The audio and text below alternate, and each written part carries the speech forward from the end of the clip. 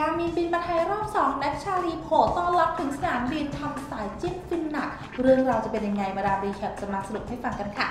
เป็นหนึ่งคู่ที่ถูกจับตามองหนักมากๆค่ะในเรื่องความสัมพันธ์นั่นก็คือหนุ่มแน็กชาลีไตรัตและสาวกามินนั่นเองค่ะสาวชาวเกาหลี ซึ่งความสัมพันธ์ของคู่นี้ค่ะ เริ่มต้นจากการที่หนุ่มแน็กชาลีเขาได้มีโอกาสไปเห็นสาวกามินในการไลฟ์สดทางโซเชียลค่ะ แล้วก็ได้มีโอกาสมาไลฟ์ด้วยกัน ต่อมาค่ะก็ได้มีโอกาสมาทำคอนเทนต์ร้องเพลงร่วมกันนั่นเอง เรียกได้ว่างานนี้ทำเอาหนุ่มแน็กชาลีเขินตัวบิดกันเลยทีเดียว จนเกิดกระแสคู่จิ้นนี้ขึ้นมาค่ะ และมีแฟนๆเนี่ยติดตามคู่นี้เป็นจำนวนมากเลยทีเดียวค่ะ ซึ่งก่อนหน้านี้ค่ะ สาวกามินเธอได้มีโอกาสเดินทางมาที่ประเทศไทยค่ะ และก็มีแฟนๆเนี่ยแฟนคลับไปรอต้อนรับที่สนามบินเป็นจำนวนมากค่ะ เรียกได้ว่าสนามบินแตกกันเลยทีเดียวค่ะ และงานนี้ค่ะเซอร์ไพรส์สุดๆเมื่อคุณแม่ของหนุ่มแน็กชาลีไปเซอร์ไพรส์ไปรอต้อนรับสาวกามินถึงสนามบินก่อนที่ทั้งคู่จะสวมกอดกันนั่นเองค่ะ และนอกจากนี้ยังมีพี่สาวคนโตของหนุ่มแน็กชาลีที่ไปรอต้อนรับสาวกามินที่สนามบินอีกด้วย งานนี้เรียกได้ว่าเป็นภาพที่น่าประทับใจมากๆเพราะว่าครอบครัวของหนุ่มแน็กชาลี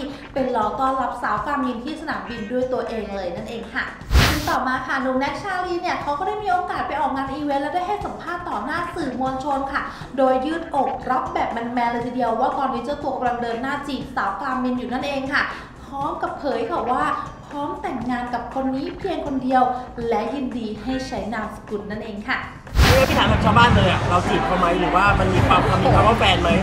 จีบ ไม่มีอะไรจีบไม่จีบก็เลยจีบไม่จีบจีบอ่า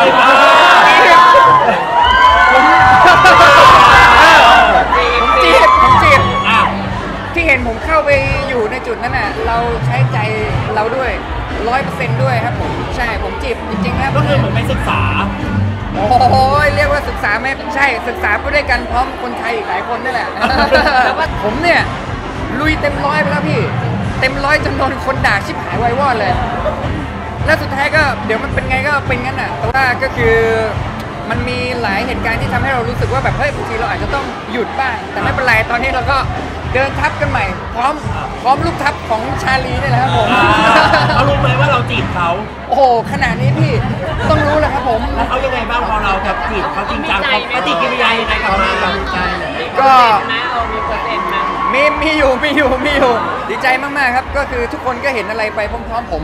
ถึงหลังกล้องก็ต้องยอมรับว่าผมก็มีคุยกันบ้างอยู่แล้วแต่มันมันก็ก็คือความน่ารักก็คือว่า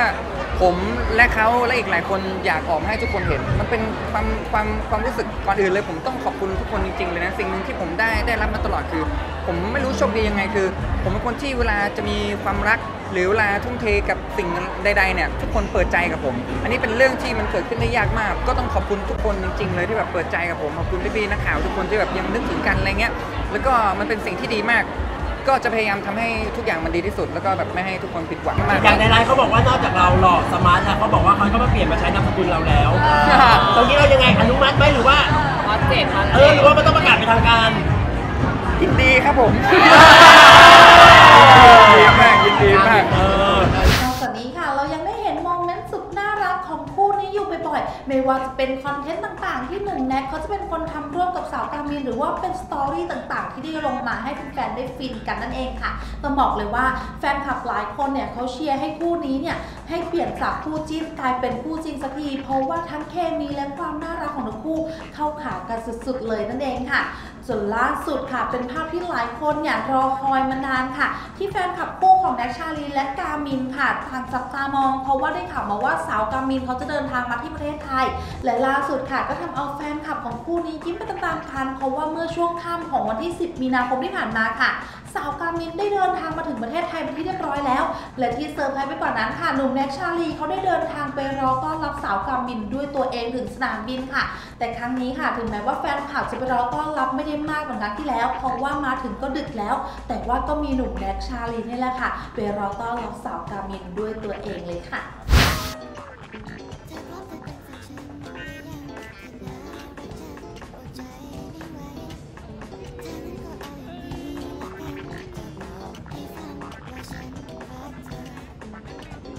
นอกจากนี้ยังได้ข่าวว่าสาวกามินค่ะ เธอได้วีซ่าทำงานที่ประเทศไทยเป็นที่เรียบร้อยแล้ว และได้ข่าวว่ามีแพลนจะถ่ายโฆษณาแล้วก็ถ่ายคอนเทนต์ร่วมกับหนุ่มแน็กชาลีนั่นเองค่ะ ไม่รู้ว่าทั้งคู่จะได้มีงานคู่ออกร่วมกันเร็วๆนี้หรือเปล่า แต่ถ้ามีเรื่องราวดีๆของทั้งคู่ออกมาเพิ่มเติมทางมาดามรีแคปจะมาสรุปให้ทุกคนได้ฟังกันอีกครั้งค่ะ